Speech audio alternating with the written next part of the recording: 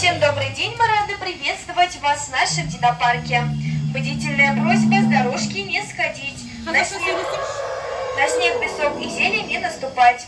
Динозавров руками трогать нельзя. Если хотите сделать фото или видео, то, пожалуйста, делайте их сразу по входу, потому что потом возможности вернуться назад уже не будет. В первом зале нашей экскурсии вы наблюдаете одних из самых древних динозавров. Это дилофозавры. Они обитали на нашей планете 190 миллионов лет назад на территории Северной Америки. Отличительной чертой является наличие гребневидного нароста на голове. Предположительно, такой нарост имели самцы для привлечения самок. Сейчас вы можете сделать фотографии, и мы перейдем в следующий зал. Қайлы күн біздің динопаркке қош келдіңіздер. Өтініш жолмен жүрулеріңізді, қом қар және көкшөпті баспаларыңызды өтінеміз. Динозаврларды қолмен ұстауға болмайды. Егер сурет немесе видео жасауғыларыңыз келсе, сол жерде жасауларыңызды өтінеміз. Өйткені біз кері қайтпаймыз. Бірінші залда ежелгі динозаврдың түрі ұсынылған. Бұл дилофозаврлар. Олар біздің әлемде осыдан 190 миллион жыл бұрын солтүстік Америкада өмір сүрген.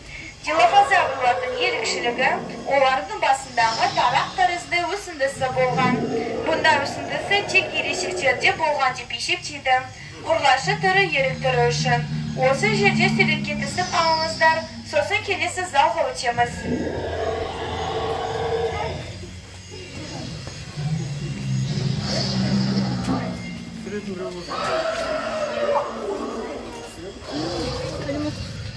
С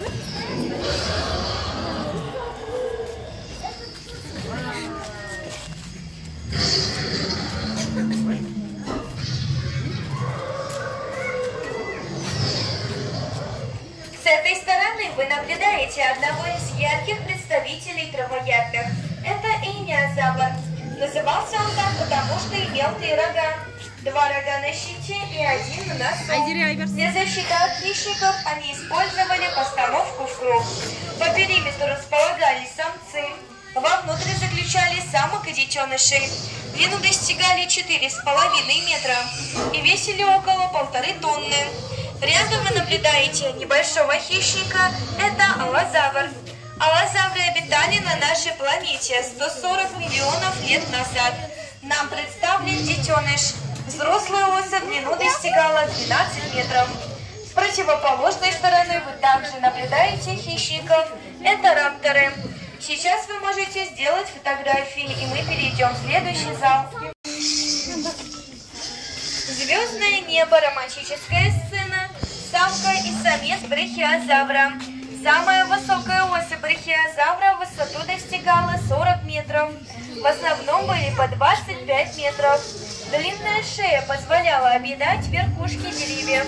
Они ели листву и хвою, ничего не пережевывая.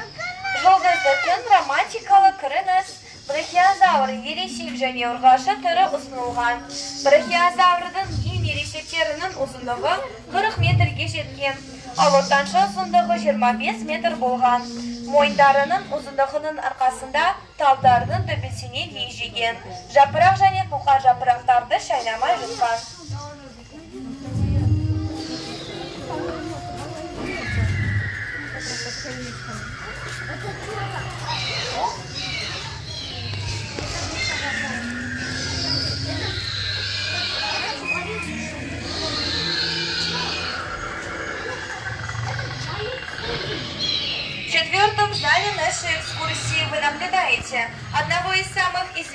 Известнейших и опаснейших динозавров. Это тиранозавр Рекс или же Черекс, что с греческого означает царственный. Он имел сильные ноги, с помощью которых быстро двигался и крайне удачно охотился. Мощный хвост и слаборазвитые передние конечности. Сейчас вы можете наблюдать, как он поймал детеныша трицератопса, чтобы им пообедать. А со скал за ними наблюдает стая птеродактилей.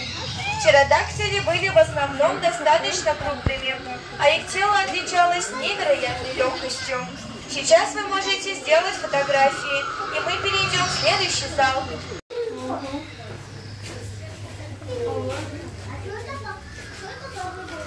Вы наблюдаете водных динозавров, не сходите, пожалуйста, с дорожки. Не наступайте на камушки. Это леоплевродон. Он был прародителем современных крокодилов. Отличительной особенностью являлось особенное строение зубов, а также то, что у современных крокодилов лапы, а у древних были ласты. Қазір сіздер байқап отырғандарыңызда суда тіршілік еткен динозаврлар. Бұлар леоплевродондар. Олар қазіргі қолтырауындардың ежелгі атасы болып келеді. Олардың ерекшелігі тістерінің орналасуында. Сонымен қатар қолтырауындардың аяғы бар, ал аяқтың орнында қанаттары болған.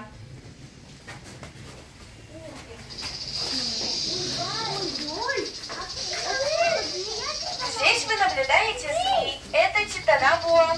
Титанобоа обитали на территории Латинской Америки. Они не были ядовитыми, а из-за особенностей строения своих зубов не могли откусывать куски плоти у своих жертв или же наносить им смертельные раны. Бұл жерде кіріп тұрғандарына жылан. Бұл титанобоа. Титанобоа қазіргі Латина Америка территориясында мекенденген. Олар улы болмаған, тістердің орналасуында тістеп жиылмаған, және құрбандарына ауыр жарақат жасай алмаған. Там. Вот он сильно Мама, вот там.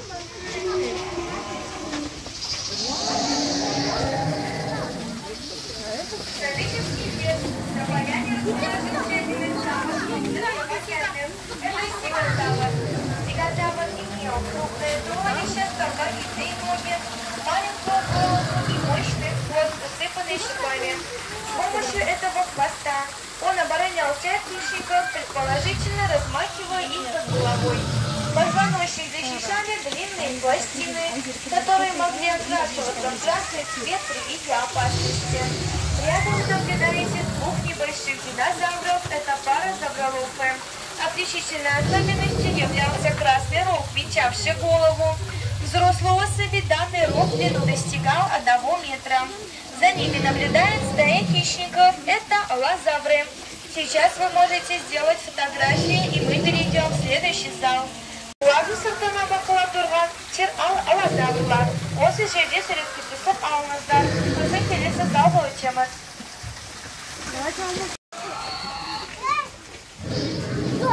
Тиранозавр ұрлашысы жұмыртқа салып жатыр. Көріп тұрғандарыңыз дайын екі балапандары жұмыртқаны жарып шықты.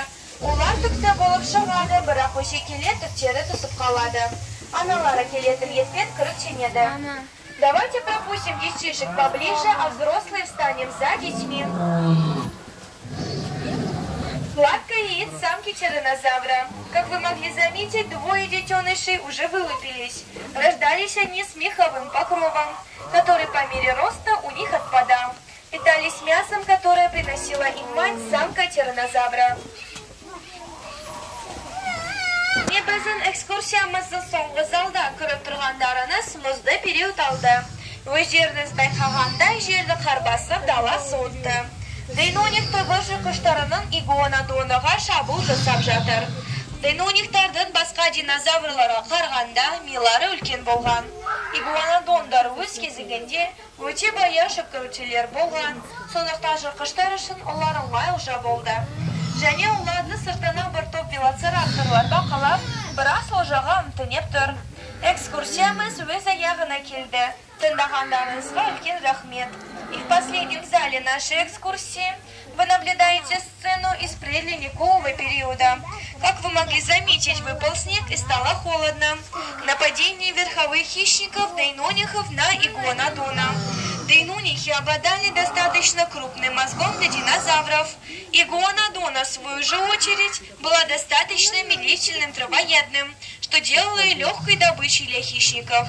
А со скал за ними наблюдает стая велоцирапторов в надежде на получение части добычи. На этом наша экскурсия подошла к концу. Спасибо за внимание.